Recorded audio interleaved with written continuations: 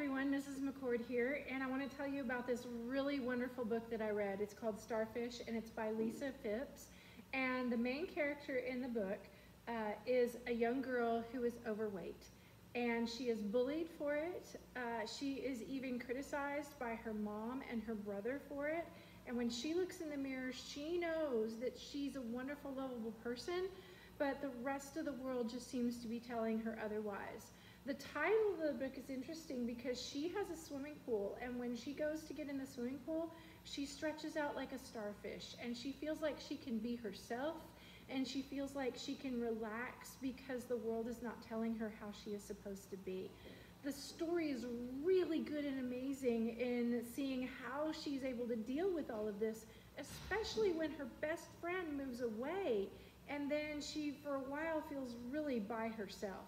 So if you're interested in picking this up, uh, let me know. Put it on hold if somebody else has it checked out. But this is Starfish by Lisa Fipps.